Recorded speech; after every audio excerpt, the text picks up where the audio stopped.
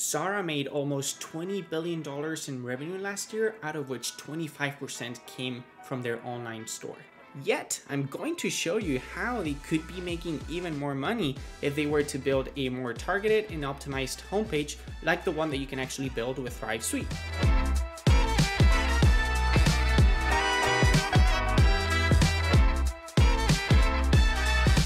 First, let's actually take a look at how Zara's homepage is currently set up. As you can see right off the bat, upon arriving on Zara, we are presented with a background section that's made up of a video. In case you're wondering, you can actually do this very easily with Thrive Architect uh, by inserting a background section on your page and setting a video as your background. Now, it doesn't make any sense whatsoever to do what they're actually doing in this hero section. We're looking at a video of someone trying to grab a moon. I- am not really sure what the message behind this video is. I'm not really sure uh, what I'm supposed to be doing in this hero section either. I mean, from a customer perspective, uh, just by looking at this hero section, I'm a little bit lost. There isn't a crystal clear call to action, and most importantly, I'm not even being presented with any product whatsoever. This hero section literally goes against everything that we are proponents of here at Thrive Themes.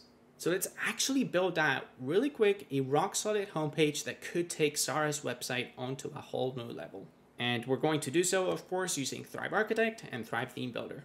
You're going to see that I pretty much built out the homepage from scratch, but even then I still like to power through the Thrive Theme Builder wizard. The Thrive Theme Builder wizard lets me wireframe my entire website. I'm going to be picking out templates for each of my website's elements, one for my header, one for my footer, and you know, one for my homepage, my blog, and so forth and so on. It's important that you pick out templates that are somehow similar in structure to the design that we're going after for our pages.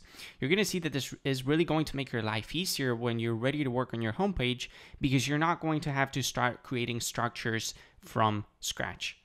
All right, so let's get to building. One of the main issues that Zara's website has compared to that of many other e commerce stores is that it's not very intuitive to navigate around. The sandwich menu is a little bit hidden, and the main hero section is made up of a slider that is kind of very distracting. So, we're to fix this by coming up with a crystal clear header that makes it super easy to access all areas of our website. As you can see, since I powered through the Thrive Theme Builder wizard, I already have my WooCommerce elements as well as my logo and navigation menu in my header. Now I just need to reorder these in whatever way I'd like.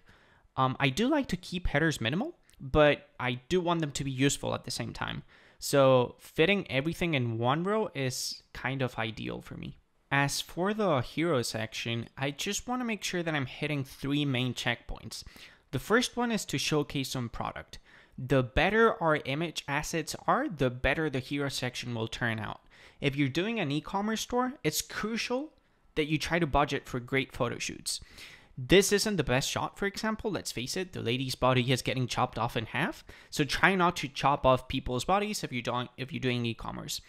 And um, Something that I like to do is to add a little bit of a gradient on top of the background image to make the text a little bit easier on the eyes. The second checkpoint that you want to hit is to make sure that your message is clear. In this case, I am talking to women and I'm letting them know that we have new products for them to explore.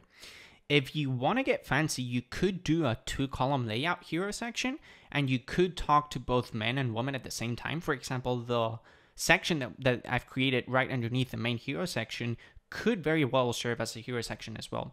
I would probably try to add a little bit more text onto each column, but it could definitely work as well.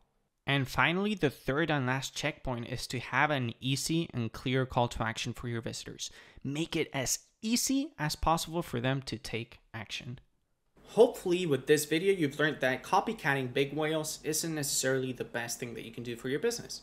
Let's face it, Zara is the biggest whale in the ocean. They can afford to loosen up and make silly mistakes like the ones that they're doing on their homepage because they are Zara, and even though they don't know anything about building an optimized homepage, um, you know, they're still probably going to beat revenues year after year because, again, it's Zara that we're talking about. But since we're here to try to help you, uh, chances are that you're not running a company like Zara and yeah, just make sure that you use meaningful marketing strategies when you're setting up your online business. That's it for today's video. You can start using Thrive Architect and Thrive Theme Builder when you get Thrive Suite. There's a link in the description. Click it down below to learn more information. I'm Tony with Thrive Themes, and I'll see you guys in the next video. Bye.